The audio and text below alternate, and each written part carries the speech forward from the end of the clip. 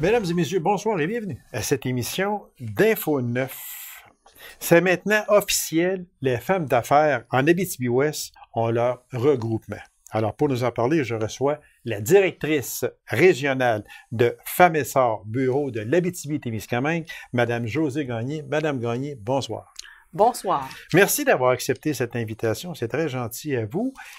Puis, moi, en tout premier lieu, parce que je suis un néophyte dans ça, parce que je suis masculin et non pas féminin, sauf que, ça probablement que ça intéresse tout le monde, j'en suis persuadé. C'est certain. Euh, moi, si je vous demandais, quel est ce regroupement au niveau de l'Abitibi-Témiscamingue? C'est quoi ce regroupement-là? Ben peut-être que vous ne le savez pas, mais vous savez qu'il y a des, des, des associations de femmes d'affaires. Euh, il y en avait à Val d'Or qu'on appelle le FAVO, les femmes d'affaires de Vallée de l'Or. Il y a à Amos le, le qui est les femmes d'affaires d'Amos Région. Ah. Il y a l'AFNOR, les femmes d'affaires de Rouen-Noranda.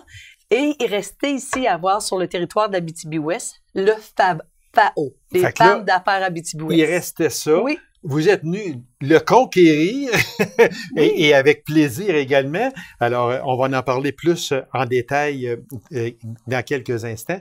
Mais le, le fameux FAO, euh, euh, le FAO. le FAO, excusez-moi, oui, ça existe depuis combien de temps? Est-ce que ça fait longtemps que ça existe? Pas du tout. Écoutez, on savait qu'il y avait un besoin euh, sur le territoire de, de l'Abitibi-Ouest. Ce que j'ai fait, c'est que j'ai j'ai eu des échanges avec Mme Mélissa Larouche, qui est la directrice Oui, de la Chambre de, la commerce. Chambre de commerce, oui. Je lui parlais un petit peu de ce qui se passait dans les autres MRC, étant donné que moi, je travaille avec les cinq MRC d'Abitibi-Témiscamingue. Je lui disais que j'aurais le goût peut-être qu'on lance le- une association de femmes en affaires. Puis la seule façon de le savoir, c'était de, de- de susciter l'intérêt par une activité. Fait que le 7 novembre dernier, on a fait un, un genre de 5 à 7. On a invité des femmes en affaires. On les a demandé si on faisait une association, quels quels seraient leurs besoins, qu'est-ce qu'ils auraient le goût de vivre dans cette association-là. Alors, suite à ça, on a eu quand même près de 60 personnes qui se sont, Ouais, euh, qui sont venues à notre bien, activité. oui. Et euh, c'est là qu'on a vu que oui, il y avait un intérêt. Suite à ça, on a formé un petit comité avec des bénévoles, des femmes d'affaires qui ont décidé de faire partie du comité de l'organisation. Et c'est comme ça que c'est parti. Une chose, Madame Gagné, qu'on semble, je dirais pas négliger et loin de là, mais qu'on qu'on ne semble pas se rendre compte tant qu'on est tant qu'on ne l'a pas en plein visage, comme on dit, c'est que on a encore tendance à penser que en affaires, c'est les hommes qui dirigent. On a un peu tendance à penser ça. Et quand euh, vous, vous nous dites que le nouveau mouvement en Abitibi-Ouest, il y a beaucoup de femmes en affaires. Absolument. Savez-vous quoi? Même en 2019, on a une statistique récemment là, chez nous, chez Femmes et Sœurs, parce qu'on aime avoir des statistiques. Encore aujourd'hui, en 2019, il y a six femmes qui se lancent en affaires pour neuf, euh, pour dix hommes. Oh, Alors, même Mhm. si on met en place des organisations, des associations, malgré tout ça, il reste encore, on a, on a avancé dans le programme, mais il en reste encore parce qu'il reste toujours bien six femmes pour dix hommes. Euh, ce qui arrive aussi, c'est que souvent les femmes veulent pas nécessairement se lancer en affaires parce que, bon, conciliation travail-famille, des fois ils sentent incompétents. Alors, tous ces enjeux-là nous fait qu'aujourd'hui, oui, on essaie de motiver ou on essaie de, de- de développer l'entrepreneuriat féminin de, de différentes façons. Alors là, on est rendu à Femmes SA. C'est ça, hein? Oui. Femmes SA, il ne faut pas que je me trompe parce que c'est quand même deux, deux affaires. Mais maintenant, en Abitibi, Ouest, depuis le 7 février, c'est implanté, c'est officiel. Oui. Combien qu'il y a de membres actuellement? Écoutez, on a eu un dîner tout à l'heure avec le comité euh, du- de, de la FAO et on est rendu à ce jour 45 inscriptions. Wow. Oui, 45 inscriptions du 7 novembre à, à ce midi lorsqu'on a eu notre C'est dans les prévisions. Est-ce que vous pensiez que d'avoir autant de personnes que ça, ou bien aussi, c'est un peu euh, une surprise? Ben, deux choses que je pourrais vous dire, Monsieur Lacasse, c'est qu'on s'était mis un objectif de, on voulait avoir près de 100 membres dans notre association. Mhm. On est à 45 et on pense au fur et à mesure avec les activités qu'on va faire qu'on devrait en avoir Il va s'en greffer d'autres à ce Sûrement. moment-là. Parce qu'il Oui. y a d'autres personnes aussi qui vont, comme vous dites si bien, vont venir à vos rencontres, Oui. vont dire Bon, ben, OK, garde, moi, je- ça m'intéresse pour. euh, Qu'est-ce que vous dites à une personne qui hésite un peu? Ouais, je pourrais en faire partie, je suis pas prête tout de suite, mais qu'est-ce que vous pourriez lui dire pour la convaincre? de faire partie de Femmes? Ben, on dit faire partie de la, de la FAO. La FAO, c'est vraiment notre organisation Oui, pour les femmes d'affaires de la BTB-Ouest. Et la façon que, que je solli- que j'ai sollicité ce matin, c'est que souvent les femmes me disent, oh, Josie, j'ai pas vraiment de place, ou j'ai pas le temps dans mon horaire, j'ai pas, j'ai pas de plage horaire pour aller à ces activités-là. Mais souvent, on se rend compte que quand on réunit des femmes ensemble, il y a un, un bel, un beau partage d'expériences. Puis de, de façon naturelle et générale, les gens y retrouvent un, un, un, un bienfait pour leur entreprise, mais comme elles, comme femmes d'affaires. OK. Fait que souvent, la façon que je dis, ben, viens voir, tu verras si jamais ça t'intéresse. Puis c'est la façon que, quand les gens viennent, puis qu'ils voient cette belle synergie-là, cette entraide-là, c'est comme ça, je pense qu'ils se convainquent par elles-mêmes. Exactement. On dit que c'est en partenariat avec la Chambre de commerce et d'industrie d'Abitibi-Ouest. Quel est le rôle de la Chambre de commerce et d'industrie à l'intérieur de ce mouvement-là? Nous, Femmes et Sœurs, ça fait partie de nos activités ou de notre plan de, de, de- de- d'activité. Oui, Femmes et Sœurs fait du financement, mais on fait de l'accompagnement, mais on adhère ou on aide les, les organisations à développer l'entrepreneuriat féminin. Fait que nous, ce qu'on fait, Femmes et Sœurs, c'est que on donne un petit peu de sous à la Chambre de commerce, mais la Chambre de commerce est responsable de tout ce qui est promotion Facebook, tout ce qui est activité euh, promotionnelle sur le site Internet. C'est la Chambre de commerce qui s'occupe de faire adhérer les membres, de faire le paiement. C'est vraiment la Chambre qui est responsable de toutes les tâches administratives, si on peut dire. Donc, c'est un beau dossier pour, pour la Chambre de commerce et, et connaissant Mme Larouche, comme on la connaît, elle Oui. va mener ce dossier-là à bon port, j'en suis persuadé. D'ailleurs, déjà, les résultats sont là. Oui. Si je vous demandais les, quelles seraient les, les principales activités à venir pour cet organisme?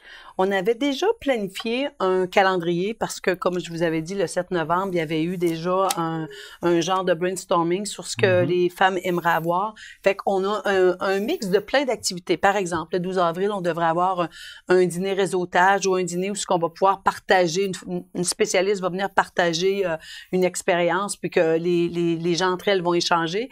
Il y a des fois, c'est des 5 à 7 où ce que il n'y a rien de planifié, ce que ce n'est que des activités de réseautage OK. où ce qu'on se parle entre femmes d'affaires, où ce qu'on échange des cartes, où on fait des activités pour s'assurer de bien connaître les membres qui font partie de l'association. Euh, on en a aussi, bon, le golf, il va y avoir une activité en, en AO au niveau du golf. Conjointement avec la Chambre Oui. de commerce, parce que c'est leur tournoi de golf annuel également, donc vous allez mixer Absolument. les deux. OK. Le FAO va être là pour pouvoir faire des activités, se faire connaître, recruter Oui. des membres, expliquer un petit peu quelles sont nos, notre, notre façon, pourquoi on est là, puis ce que les gens veulent, les femmes d'affaires veulent avoir aussi. Le réseautage va se faire en collaboration avec la Chambre de commerce et d'industrie. Oui, On- On peut dire ça comme Oui. ça. absolument. Moi, en tout cas, j'espère qu'il n'y a plus personne. Ah, parce qu'on est en 2019, là. On n'est plus en 1919, là. Oui. Hein, On est quand même euh, un petit peu plus loin que ça. J'espère qu'en 2019, là, il n'y a vraiment plus personne qui peut oser penser que la femme n'a pas sa place en affaires. Est-ce que vous sentez qu'il y a encore de la réticence? Ben moi, je pense que euh, c'est comme toute chose. Hein, on est en progression, on est en, on est en évolution. Oui, euh, je pense qu'on voit, regarde, au niveau de la politique, des trucs de même, que des, certaines femmes décident de prendre vraiment leur place. Je pense a de la place pour elles aussi. Oui. Euh, et euh, on, est sur une belle lancée. Vous voyez des organismes comme Femmes et Sœurs, où on a un budget de 19 millions. Le gouvernement nous a permis d'avoir des sous pour justement adhérer ou à partir des associations ou même de faire du financement pour les entreprises qui sont en démarrage, en croissance, en relève. Fait que on sait déjà qu'il y a des, des, des, des aides financières et il y a des ressources pour pouvoir accompagner ces gens-là. On a lancé récemment ce qu'on se disait, ben oui, les femmes aiment ça, faire des activités, mais on vient de lancer des cellules de co-développement aussi pour permettre aux femmes de se développer ensemble par la- le partage de bonnes pratiques, mais aussi par des réalités parfois qui sont différentes des hommes. Oui, exactement. c'est Vous ça. savez, conciliation travail-famille, on en parle encore. Oui, il y a, il y a, il y a, tu sais, il y a, il y a la place des hommes, mais malgré tout, parfois, il y a certaines femmes qui, après quelques mois, quelques années, sont épuisées par la gestion de l'entreprise, mais aussi au niveau de la gestion familiale. On dit que c'est pour les femmes d'affaires ou celles qui aspirent à le devenir. Ça veut dire que la personne qui nous écoute, qui, bon, qui est- dans le cheminement d'aspirer euh, à une entreprise ou quelque chose du genre, peut vous rencontrer. Elle n'est pas obligée d'avoir déjà être en affaires actuellement. elle, elle aspire venir en affaires. Donc, vous êtes aussi ouvert à ça. Absolument. Vous savez, un projet d'entreprise, on ne le part pas le lendemain matin. Il y a certains projets d'entreprise, des fois, qui peuvent prendre un mois, un an, Oui. deux ans. Alors, quand les gens ont des idées d'entreprise, qu'est-ce qu'on aime, en tout cas au niveau des développements ou du développement économique, on a certains partenaires, tu sais, Sœurs, les SADC, les MRC, les institutions financières. On est des personnes ressources pour accompagner les gens dans l'évolution de l'idée du plan d'affaires jusqu'au dernier moment où ce qu'on le finance. Puis après le financement même, il y a des aides pour pouvoir bien les accompagner, pour pouvoir justement développer leur entreprise parce qu'on part d'un démarrage, mais on peut aller jusqu'à de la croissance ou du développement d'entreprise. On est là dès le début. Ça, j'aime ce que vous dites là, parce que ce n'est pas seulement de- d'aider la personne en question à partir son entreprise, mais vous faites un suivi après si elle a besoin d'aide. Euh, euh, Il y a un, cheminement que vous êtes près de cette personne-là tant et aussi longtemps, je présume, qu'elle en a besoin. Absolument. Toutes les personnes, on parle des entrepreneurs, que ce soit des femmes, parce que pour adhérer à nos, à nos fonds, chez nous, chez Mhm. Femmes et Sœurs, il faut qu'il y ait au moins une femme à 25% actionnaire dans une entreprise. OK. Fait que c'est sûr que la femme qu'on accompagne, des fois, on fait juste l'accompagnement, puis des fois, on fait du financement. Mais aussitôt qu'on a financé l'entrepreneur, on appelle ça du financement accompagné. C'est-à-dire qu'à tous les mois, on discute ensemble, puis à tous les trois mois, on regarde où on est rendu au niveau des prévisions des ventes, et à tous les ans, on regarde ce qui est prévu, où on s'en va, puis vers où on va aller aussi. Alors, l'accompagnement, vous savez, le financement, c'est un élément important, mais on se rend compte que plusieurs entreprises euh, réussissent, c'est surtout l'accompagnement et l'aide qu'on apporte aux Mhm. entrepreneurs. En terminant, il y aurait juste une minute. On voit aussi le fameux logo, euh, l'image d'une femme d'affaires qui regarde toujours vers le haut. C'est vraiment bien, bien imagé. La robe rouge, couleur de, des passionnés, de l'énergie et de l'action. C'est Oui. vraiment bien pensé. Je, je ne sais pas qui a pensé à ça, mais c'est vraiment bien pensé. Écoutez, ça me fait Puis- plaisir de vous oui. le dire qui a pensé à ça. Puis on va juste, euh, ici, on va la monter parce qu'elle est sous forme d'une cravate. Ouais. On a pensé à l'homme un petit peu aussi, Ben, malgré qu'il y a des femmes qui portent la cravate aujourd'hui. Oui. On voulait faire un clin d'œil. Écoutez, c'est Natacha de l'imprimerie euh, Impression Plus qui a créé le logo en, en partenariat avec les autres membres du comité. Et je pense que ça représente vraiment bien les femmes entrepreneurs qui sont sur le territoire d'Abitibi-Ouest. Bravo à celle qui a pensé à ça. Très beau logo. Madame Gagné, merci énormément. Puis on, on souhaite à toutes les femmes d'affaires d'intégrer ce mouvement parce que c'est vraiment très précieux. Puis également, vous donner un suivi, c'est ce qui est aussi très important. Merci beaucoup, Madame Gagné. Merci de votre invitation. Ça m'a fait plaisir. Courte pause, on vous revient immédiatement après. Reste avec nous.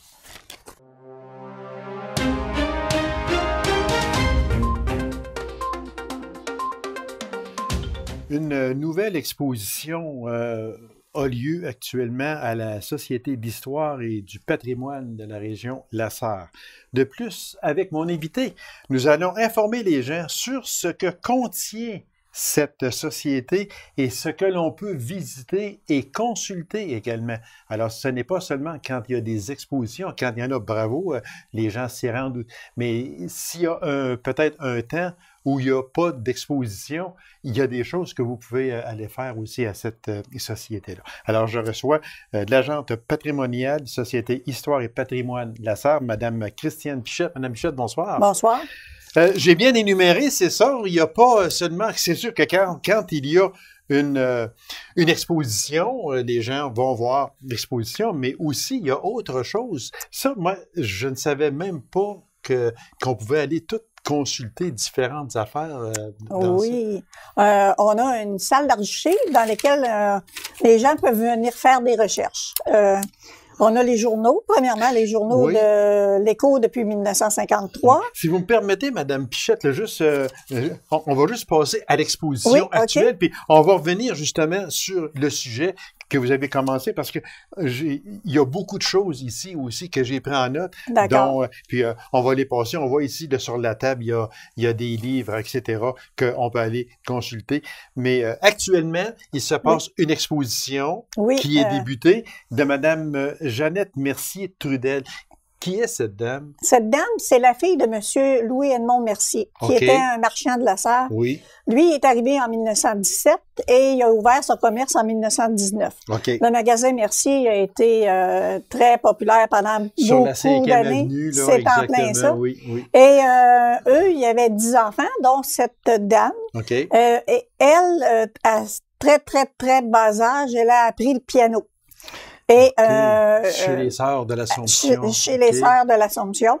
Et euh, pour dire aussi un petit fait, une petite anecdote, c'est elle qui, lors de l'ouverture de CKLS à la Sarre, Oh, euh, c'est elle qui jouait du piano. Alors, euh, Est-ce qu'on parle des années 50 quelques? Parce que c'est quand même à Environ, la oui. c'est au début des années 50. Là. Je sais que j'ai lu sur ça des différentes notes. oui, Et, euh, CKLS, oui, c'est dans il y les avait années M. 50. Roger Hull qui était le. C'est ça. le- le- le- Alors, euh, et comme c'était une musicienne qui voulait apprendre tout le temps, euh, quand elle a eu fini son école primaire, euh, ici à la Sarre, elle s'est en allée à Nicolet, chez les sœurs de la, chez les bonnes, chez les sœurs. Chez les sœurs Et là, elle a perfectionné euh, sa musique. Et euh, cette dame-là, ben c'est sûr que c'était une dame qui euh, participait aux jeunesses musicales, participait à tous les événements musicaux euh, de la Sarre. Et euh, c'est un hommage à quelque part qu'on a voulu lui rendre. OK. Parce que. euh, elle a quel âge environ, cette dame-là? Elle elle en est décédée, OK. 2004, si ma mémoire en est bonne. 2004. Parce que je, je ne serais pas surpris du tout, moi, qu'elle ait, euh, euh, qu'elle ait fait son apprentissage de piano quand vous parlez de Nicolette. Moi, j'ai deux tantes qui étaient religieuses, des sœurs de l'Assomption, dont une tante Jeanne, Jeanne Dumont, qui, était, qui avait un doctorat en musique. Fait que ça se peut qu'il y avait peut-être un certain lien là, à ce moment-là. Fait que c'est pour ça que je vous demandais si, euh, si elle était encore euh, de ce monde aujourd'hui. Elle est décédée. Elle est décédée. Elle est décédée. Euh, elle a aussi, elle a enseigné le piano euh, à, à domicile, enregistré euh, des albums. on parle de Marguerite et Blémur, c'est ça. Oui, c'est ça. C'est un peu tout Puis ça. elle a fait aussi un, un, CD, DVD de musique de Noël aussi, qui oui, s'appelle Nostalgie. Euh, Noël alors, et Nostalgie en 2003. En ici. 2003, c'est ça. Alors c'était ces deux, euh, ces deux bébés. Et euh, son fils me dit euh, que euh, elle a mis beaucoup de temps et de persévérance sur ses albums parce que c'était une dame qui était perfectionniste, puis il fallait Oui, que ce soit bien Il fait. fallait que ce soit comme à la Parfait, perfection, même si la perfection n'existe pas, dit-on, mais elle s'y elle s'y rapprochait Elle beaucoup. s'y est très, très appliquée, mettons. Et euh, on retrouve dans cette exposition-là aussi euh, des objets qui ont appartenu à la dame, des objets courants. Euh, J'ai en mémoire là, des, des euh, euh, chose pour les pour tuer les mouches là, mon anciennement Dieu, là, oui, les pompes à un, un mouches. là. push là, qu'on appelle, Oui, là, oui. oui, avec. euh, Alors euh, ça c'est un objet qui est parmi tant d'autres là. OK. Et euh, beaucoup de photos aussi. Ah, OK. Euh, des photos avec son époux, qui était euh, Monsieur Trudel, Monsieur Gérald, Gérard Trudel. Gérard Trudel. Oui, OK. Et euh, on a aussi des photos de elle avec sa fille, elle avec ses, ses, ses petits-enfants aussi. Alors, c'est une belle exposition. Oui, sûrement. C'est On c'est évite les intéressant. gens. Puis, euh, juste une parenthèse, tandis qu'on passe sur ça, euh, il y a des- un nouvel horaire à Oui. la maison. Hein, de, Oui, maintenant, on est ouvert du mardi au vendredi, OK. de 9h à 11h45 et de 1h15 à 16h30. À 16 h attends, OK. Fait Oui. que maintenant, c'est fermé le lundi. C'est fermé le lundi pour être euh, euh, à- à au même point qu'avec euh, la ville de la Sarre. Ah, OK. Les horaires de, de, de la bibliothèque. De la et- bibliothèque et tout ça. et- C'est ça. Et la culture et tout et tout. C'est ça. Euh, et puis, cette exposition-là, elle est euh, en ce moment. Elle est là jusqu'au elle est 3 là mai. Jusqu'au 3 mai. Donc, on invite les gens à s'y rendre en grand nombre, visiter cette, cette exposition-là de Mme Jeannette Mercier-Trudel. C'est ça? Oui, c'est Bon. ça. Euh, une chose que j'ai apprise, euh, on, on a commencé à en parler un peu, on va revenir Oui. sur, sur le sujet, Madame Pichette, si vous me permettez. Moi, je ne savais pas, c'est en consultant le site de, de la maison du, bon, de cette euh, société-là, Société du patrimoine. Oui, notre site web. Oui, exactement. En allant dessus, j'ai vu que euh, on pouvait aller consulter différentes choses, aller euh, aller voir différentes euh, choses. Donc, entre autres, vous avez ici des livres, des livres du centième de Dupuis, de Lassard, de Macamic, de Larraine, d'Autier et le 75e de Nord-Métal. Oui, oui. Euh, nous, ce qu'on a voulu faire, en, si je prépare, je regarde ici le livre Oui. du centenaire, le livre du centenaire, il y a deux, deux volumes. OK, Il y a l'avant, le centenaire, tous les événements qu'il y a eu avant, et durant le centenaire et après. Parce que, euh, à quelque part, euh, c'est intér- c'est intéressant de savoir ce qui s'est passé. Oui, oui. Parce que si on prend, mettons, en 1025, nous, on sera plus là. Probablement qu'on devrait plus être là. Alors, euh, pour les gens qui vont suivre, ben, ils vont avoir un aperçu de qu'est-ce qui s'est passé OK. et c'est plus facile de, de, de voir les événements. Euh, c'est pour ça qu'on a fait ce volume-là. On l'a fait pour Macamic également, Oui, ici, oui. qui peut- est un, Oui, un ici. document que j'ai retrouvé dans les différents euh, sites Oui. Internet. OK. Euh, je me suis basée là-dessus parce qu'il y avait des belles photos, etc. Puis ça a fait un souvenir également. On parle aussi les musiciens d'Abitibi-Ouest. Oui, Ça, c'est vraiment aussi très intéressant. c'est un document qu'on a voulu. On a fait des recherches pour retrouver les différents orchestres, les différents musiciens de la BTB-Ouest. OK. Le livre est fait, mais on peut en ajouter. Alors, si, moi, je lance un appel à Ah, tous, ben à oui, nos musiciens qui auraient en possession des photos de leur groupe ou qui, euh, qui auraient en possession, euh, je sais pas moi, des cassettes ou peu Mhm. importe, des films et qui voudraient s'en départir ou nous les prêter tout simplement pour qu'on puisse les, les En faire une copie en faire une copie. pour être pour, pour Et, pour mettre euh, à la disposition Nous, en gens. même temps, ben, ça augmenterait le volume de notre document qui on voudrait le plus complet possible. Donc, ça n'offensera pas personne si, et c'est une supposition de que je fais, euh, il y a peut-être une personne ou deux qui vont regarder ici dans le livre et dire Hey, nous autres, on avait un orchestre à ce moment-là, puis on n'est pas dedans. Fait que Il n'y a ça aucun sera problème. pas insultant à personne Non. que ces personnes peuvent aller vous voir puis dire mais là on aurait des écrits on aurait tout- peu Oui. importe quoi est-ce qu'on pourrait faire incorporer ça Facilement, parce que le aucun document, problème. le document a été fait pour ça. pour ça Pour ça, pour qu'on puisse ajouter des gens. Sinon, euh, ben, j'a- j'aurais trouvé dommage que les gens qui seraient intéressés à apparaître dans le document ne puissent pas l'être. Ben, c'est ça. Et Parce qu'il peut avoir un oubli ou sans avoir, sans être oublié, vous ne le saviez On pas. ne le savait pas, c'est ça. Parce qu'il y en a eu beaucoup de musiciens là, chez nous. en Beaucoup, Abitibi. beaucoup, Il y en a beaucoup, encore beaucoup, il y en a euh, eu beaucoup. Puis même, euh, des fois, je le- on montre le document à des gens, puis ils me disent, ah, il y a telle, telle personne, c'est un musicien. On le prend en note, on Ah, l'ajoute. OK, OK. Euh, on- C'est sûr qu'on ne réimprime pas à chaque fois, non, non, non. mais à un moment donné, on va se dire, tiens, là, on réimprime, puis qu'est-ce qui nous manque? Donc, Euh. ne soyez pas offusqués du tout si vous le consultez, vous aviez un orchestre à ce moment-là, puis vous n'êtes pas dedans. C'est pas un oubli, peut- peut-être que les personnes qui ont fait cet album-là ne le savaient tout simplement C'est ça, pas. c'est ça. Alors, c'est pour ça que vous n'êtes pas Et, là. euh, Mais si vous voulez euh, être incorporé à ce livre-là, bien, voyez Mme Pichette. Et puis, Ah oui, puis ça va nous faire plaisir Oui. D'ajouter les, les gens qui ne le Oui, sont pas. exactement. Euh, des fois, ça peut être par un neveu qui, son oncle jouait, je sais pas, moi, de l'accordéon, puis... euh, Oui, oui, oui. Ça, euh, peut- ça peut être n'importe C'est n'importe quelle sorte de musique. Oui, oui, parce que dans ça, vous avez du populaire, vous avez de, du folklorique, Oui. vous avez euh, vous avez de tout. là. Exactement. Vous avez de tout. là. Fait que ne soyez pas offusqués à, à la place d'être offusqués. Si offusqué vous êtes, ben, allez voir Mme Pichette puis dites-lui que vous aimeriez, parce que vous aviez un groupe, vous aimeriez être incorporé à ce livre-là et ça va, ça va Ah vous faire oui, un ça, plaisir. ça va nous faire très plaisir de, de les ajouter. Voilà.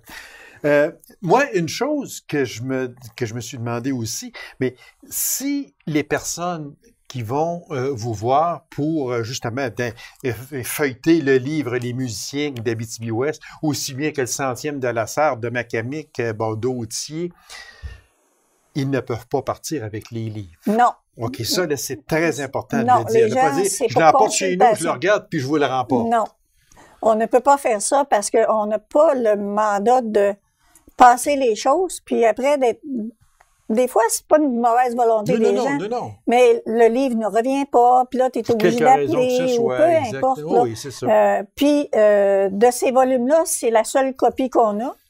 Alors, euh, c'est sûr que pour nous, ce serait facile d'en réimprimer, oui, mais mais euh, on- Fait que c'est euh, les personnes s'en vont là, s'assoient, puis peuvent feuilleter le livre C'est ça. et le laissent là, puis ils s'en retournent. c'est ça. On en a parlé aussi, documents sur les croix de chemin. Oui. Ça, c'est un étudiant qui euh, on avait mandaté un été à faire le tour de l'Abitibi-Ouest pour euh, faire toutes les rangs, pour ramasser les croix de chemin. Puis il y en a beaucoup. Puis la encore. localisation, puis à Oui. quel, à quel endroit il est. Alors, c'est c'est un document qu'on a monté. Il n'est pas ici aujourd'hui, mais c'est un document qu'on a monté. Et euh, c'est intéressant de voir toutes les croix de chemin qu'il y a. Et aussi les croix souvenirs des décès des gens. Ah. Euh, qu'on a fait, euh, on a demandé, on a demandé, excusez, oui. à, à l'étudiant de, de faire en même temps, parce Mhm. que c'est quand même un souvenir, c'est quand même euh, un, un patrimoine Oui, qu'on peut conserver. Oui. Euh, on a aussi fait euh, les églises de Ben l'Abitibi-Ouest. oui, exactement. Ça aussi, c'est intéressant. Alors, on Oui, a- parce que les églises, malheureusement, ben, ont tendance à disparaître. Oui, malheureusement. Fait que là, ben, au moins, euh, il y aura un, un endroit où on pourra dire, ben là, il y avait une église ici, puis on peut aller consulter, puis voir Oui, c'est ça. Et euh, nous, on a fait un peu l'historique des églises aussi, par le fait même, pour, euh, pour la conservation, justement. Vous avez également euh, l'historique du Club Lyon de la Sarre, Oui. 68 à 2018. Ça, c'est tout nouveau. Ça a été fait l'année passée en collaboration avec le Club Lyon, qui OK. fêtait leur, euh, je crois, que c'était le 50e anniversaire. 50e, ça se peut, Alors, oui. euh, ils sont venus nous voir, puis ils nous ont demandé si on serait intéressé à, à faire le montage, puis à préparer un document pour le 50e. Alors, c'était euh, intéressant à faire parce qu'on a appris beaucoup Ah, sur le c'est- Club C'est Lyon. sûr que vous devez apprendre beaucoup de, de choses quand vous faites un montage. C'est ça, et c'est M. Jacques Chabot qui était mon collaborateur. Alors lui, il venait visionner, il venait voir, puis là, ben oui, ça j'aime ça. Ah, ça, le nom, il est pas tout à fait correct. Fait que Ah non, on a réajusté. Euh, il y a un jeu questionnaire historique, la Sarre et municipalité d'Abitibi-Ouest. Ça, par exemple, c'est en vente. Oui, ça, c'est en vente. C'est un jeu de de cartes, mais pas, pas des cartes à jouer, Pas là, des mais cartes des à cartes. jouer, C'est un jeu, 500, ques- là, c'est c'est un pas, jeu oui. questionnaire en réalité. oui. Sur un côté, vous avez une question, vous avez des questions, et de l'autre côté, vous avez la réponse avec euh, l'image qui correspond à, à, à la réponse, mettons. Et euh, on en a sur la municipalité de la Sarre, sur la Société d'histoire. Ça, c'est un jeu ensemble. Et l'autre jeu, c'est les municipalités de l'Abitibi-Ouest. Ah, Alors, euh, on a fait euh, quelques questions sur toutes les, les paroisses de l'Abitibi-Ouest. Euh, Madame Pichette, merci beaucoup. C'est très intéressant. On invite les gens à l'exposition qui est en cours présentement de Madame Jeannette Morin-Trudel, puis aller à la Société d'histoire, vous renseigner, puis aller voir ces magnifiques livres et puis aller les consulter. Madame Pichette, merci beaucoup. Je Merci vous beaucoup. Un bon été. Merci beaucoup, Madame. Ah Alors, oui. mesdames et messieurs, merci d'avoir été là. On se rendez-vous à une prochaine émission d'Info 9. Au revoir.